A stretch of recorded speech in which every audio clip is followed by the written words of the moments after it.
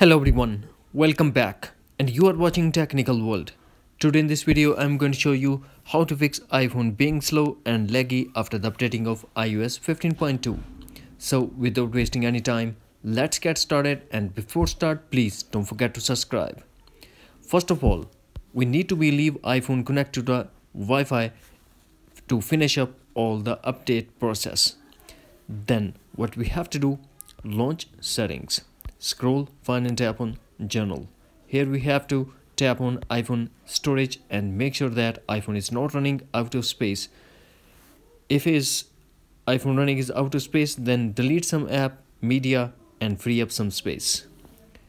Then go back to settings scroll find and tap on battery and disable low power mode. Now go back to settings General and tap shutdown. Now drag the slider to power off, wait for a couple of minutes, then turn on back.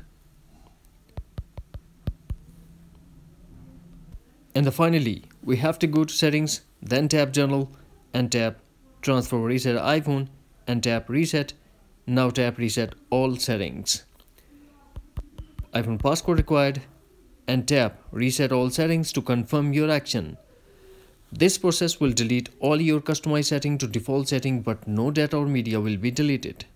That's it.